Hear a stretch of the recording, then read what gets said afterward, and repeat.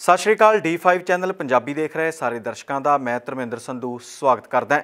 UP ਦੇ ਲਖੀਮਪੁਰ ਜ਼ਿਲ੍ਹੇ 'ਚ ਵਾਪਰੀ ਘਟਨਾ ਨੇ ਸਾਰੇ ਦੇਸ਼ ਨੂੰ ਪੂਰੀ ਦੁਨੀਆ ਨੂੰ ਹਿਲਾ ਕੇ ਰੱਖ ਦਿੱਤਾ ਹੈ। ਹਰ ਕਿਸੇ ਦੀਆਂ ਨਜ਼ਰਾਂ ਯੂਪੀ ਦੇ ਉੱਤੇ ਟਿਕ ਗਈਆਂ ਨੇ। ਇਸੇ ਦੇ ਚੱਲਦਿਆਂ ਇਸ ਮਾਮਲੇ ਦੀ ਇੱਕ ਵੀਡੀਓ ਸਾਹਮਣੇ ਆਈ ਹੈ, ਜੋ ਤੁਸੀਂ ਆਪਣੀ ਸਕਰੀਨ ਦੇ ਉੱਤੇ ਦੇਖ ਸਕਦੇ ਹੋ।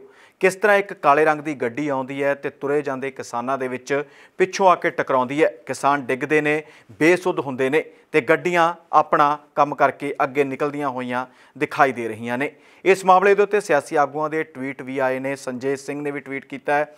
ਪ੍ਰਿੰਕਾ ਗਾਂਧੀ ਦਾ ਟਵੀਟ ਵੀ ਸਾਹਮਣੇ ਆਇਆ ਹੈ। ਦੱਸ ਦਈਏ ਕਿ ਲਖੀਮਪੁਰ ਜ਼ਿਲ੍ਹੇ ਦੇ ਵਿੱਚ ਵਾਪਰੇ ਘਟਨਾਕ੍ਰਮ ਤੋਂ ਬਾਅਦ ਵੱਖ-ਵੱਖ ਸਿਆਸੀ ਧਿਰਾਂ ਨੇ ਵੀ ਭਾਜਪਾ ਨੂੰ ਨਿਸ਼ਾਨੇ ਤੇ ਲਿਆ ਹੈ। ਲਗਾਤਾਰ ਮੰਗ ਕੀਤੀ ਜਾ ਰਹੀ ਹੈ ਕਿ ਜਿਹੜੇ ਦੋਸ਼ੀ ਨੇ ਮੁਲਜ਼ਮ ਨੇ, ਉਹਨਾਂ ਦੀ ਤੁਰੰਤ ਗ੍ਰਿਫਤਾਰੀ ਕੀਤੀ ਜਾਵੇ।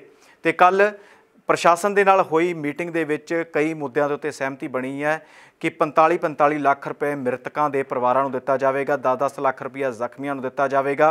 ਪਰਿਵਾਰ ਦੇ ਇੱਕ ਮੈਂਬਰ ਨੂੰ ਸਰਕਾਰੀ ਨੌਕਰੀ ਦਿੱਤੀ ਜਾਵੇਗੀ ਤੇ 8 ਦਿਨਾਂ ਦੇ ਵਿੱਚ ਵਿੱਚ ਜਿਹੜੇ ਮੁਲਜ਼ਮ ਨੇ ਉਹਨਾਂ ਨੂੰ ਗ੍ਰਿਫਤਾਰ ਕਰ ਲਿਆ ਜਾਵੇਗਾ।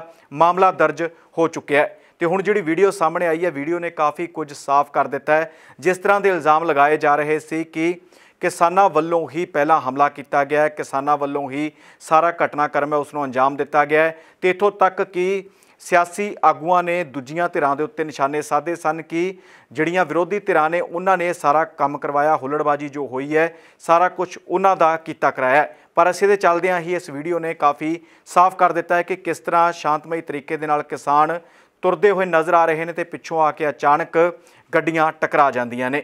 ਦੱਸ ਕਿ ਲਖੀਮਪੁਰ ਜ਼ਿਲ੍ਹੇ ਦੇ ਵਿੱਚ ਹੋਏ ਇਸ ਹਾਦਸੇ ਦੇ ਦੌਰਾਨ ਚਾਰ ਕਿਸਾਨ ਸ਼ਹੀਦ ਹੋਏ ਨੇ, ਜਿਨ੍ਹਾਂ ਦਾ ਕਿਸਾਨ ਅੰਦੋਲਨ ਦੇ ਵਿੱਚ ਵੱਡਾ ਯੋਗਦਾਨ ਸੀ।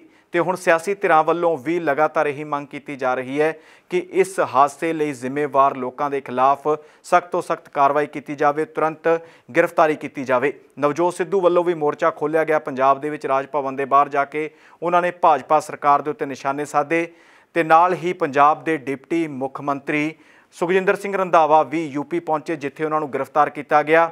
ਪ੍ਰਿੰਕਾ ਗਾਂਧੀ ਨੂੰ ਗ੍ਰਿਫਤਾਰ ਕੀਤਾ ਗਿਆ। ਵੱਖ-ਵੱਖ ਸਿਆਸੀ ਆਗੂਆਂ ਨੂੰ ਅੱਗੇ ਜਾਣ ਤੋਂ ਰੋਕਿਆ ਗਿਆ। ਗੁਰਨਾਮ ਸਿੰਘ ਚੜੂਨੀ ਨੂੰ ਹਿਰਾਸਤ ਦੇ ਵਿੱਚ ਰੱਖਿਆ ਗਿਆ।